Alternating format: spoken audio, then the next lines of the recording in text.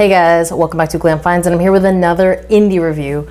This time from the House of Happyland, Happyland's newest. It's Happyland Bad Time Charlie.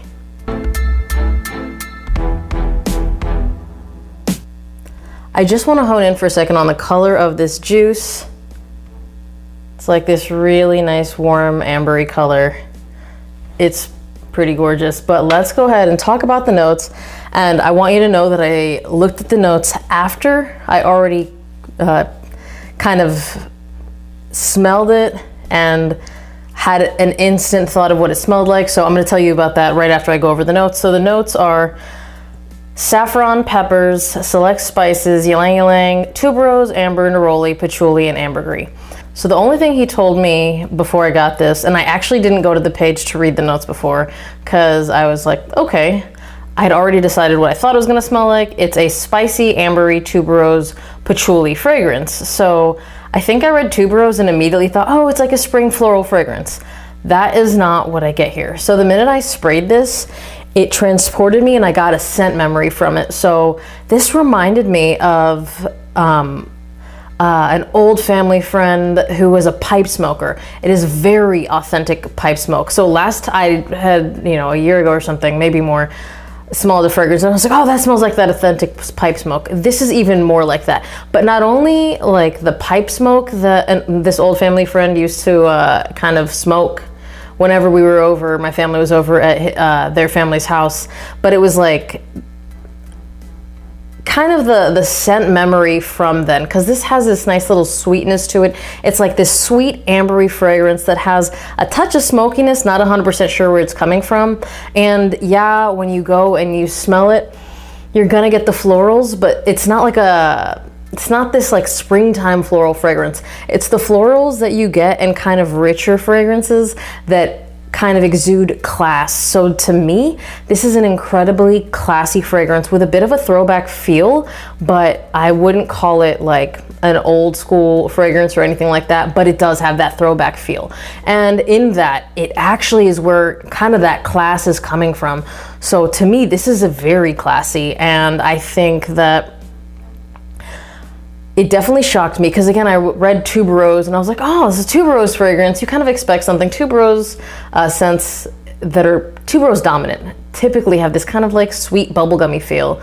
Not all of them but a lot of them. And there's kind of a certain scent profile that goes with that. I was thinking more in the Paisley Dreams category because that one instantly I smelled tuberose as soon as I smelled that one. Not at all. This is just like a rich classy uh, definitely evening time fragrance that has this really nice, I'm telling you, the sweet ambery feel in this is gorgeous. The florals are just everything, the way everything balances is gorgeous. I don't think it's heavy on anything. And it has this slight smokiness that really just blends it all together. It's not a smoky fragrance. There's just something about it that gives it that kind of nighttime feel. And in terms of who can wear it, because of the class that this exudes, I think anyone that has that vibe can wear it.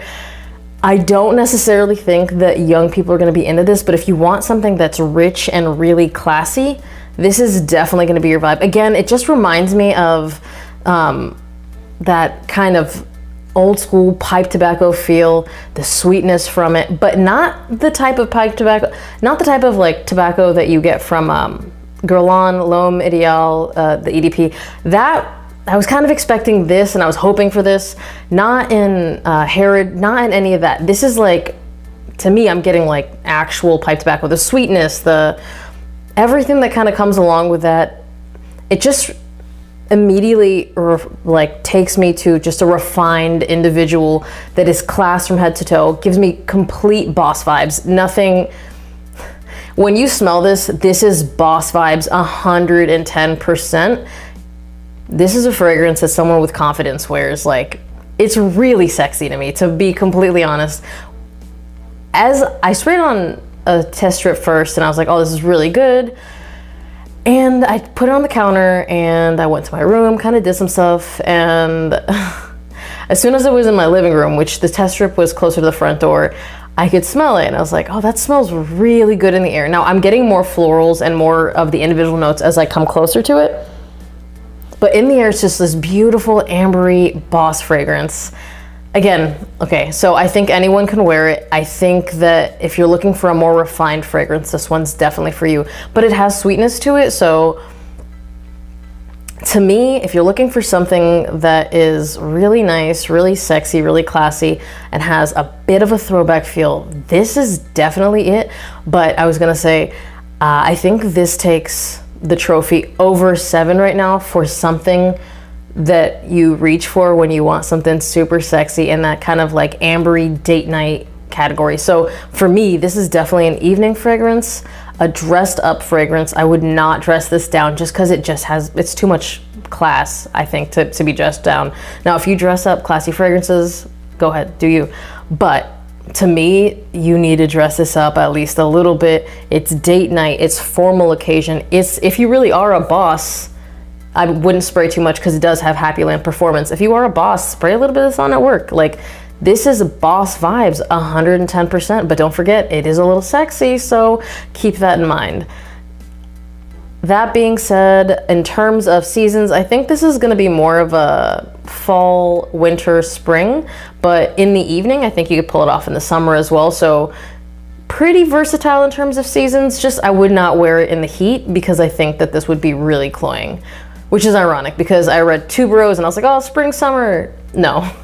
So if you're afraid of tuberose, don't be worried. I actually don't specifically smell tuberose. I still can't specifically smell tuberose, and I can usually pick out tuberose. So the florals in here, I would say, are expertly blended, and it just, it's a really nice fragrance. I mean, I feel like this is probably going to be one of the best evening fragrances from the House of Happyland, especially to dress up, specifically to dress up. Um, again, seven is really good, but yeah, this definitely gives seven a run for its money. This is a really nice fragrance. Keep in mind, I did say throwback feels, not an old school fragrance, but you kind of have to like the little bit of that throwback vibe. Uh, but I do think that anyone that's into that throwback vibe is really gonna like this fragrance. Performance, Happyland performance. It's it's lethal.